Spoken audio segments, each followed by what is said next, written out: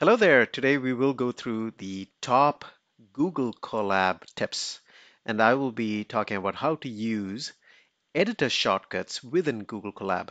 So there are some very cool keyboard shortcuts you can use to speed things up, but uh, let me introduce uh, you to this. Uh, you probably already know this. If you use a Mac, you have a command, uh, a command uh, uh, key on your keyboard or if you use uh, Windows, you have a control key. If you use that with uh, uh, uh along with uh, a, a, specific key called uh, your letter M, which I remember by calling it the M for modify, so you can modify cells within your Google Colab. it actually gives you a little bit of power to speed things up. So Command M and one more key.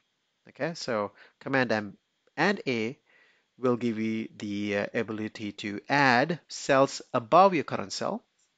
So you can add cells, code a code cell above your current cell, or you could add that code cell below using command MB, B for below, as you see, right? A and A above, B for below, that's how you remember it.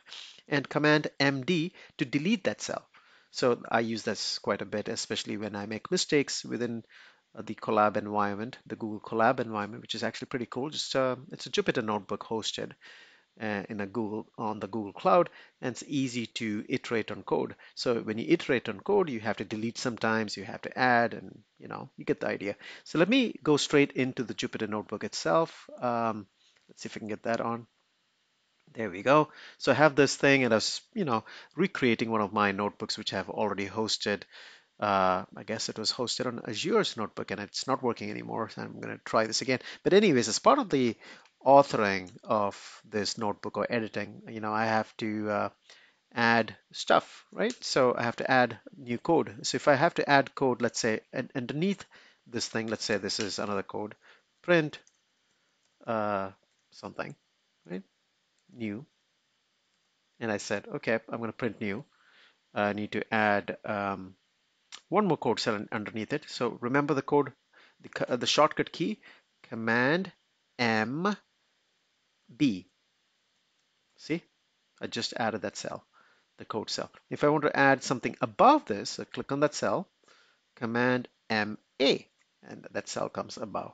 If I want to delete that thing, if I don't need it, I just go Command M D. So you get the idea. Three commands, Command M A for above, Command M B for below, if you want to add a code cell below the current cell. And um, if you um, have to delete it, just do Command MD. Uh, so that has a that uh, gives you that uh, top three commands which I use. And let me go back to my um, let me go back to my uh, other presentation there. So there we go. So these three are very used at least, and there are some more keys which you can give a uh, give a try. And I'm not going to demo that out right now. Just these are for your reference, and you can try that out in the class, uh, uh which I walk through typically for kids. Uh, or you could go into um, your Google Colabs uh, environment and try these out yourself. Is these three commands are Y which is when you have to convert a text cell into code, you try Command MY.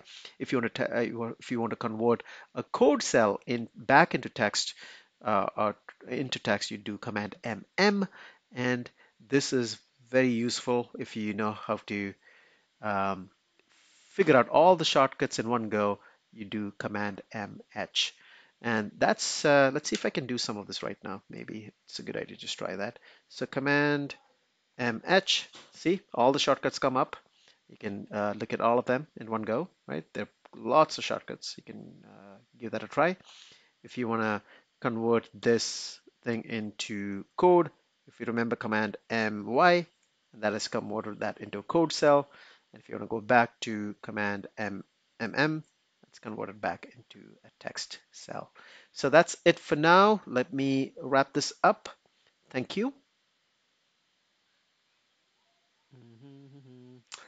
Guess I have to go to my uh, QuickTime library, sorry, QuickTime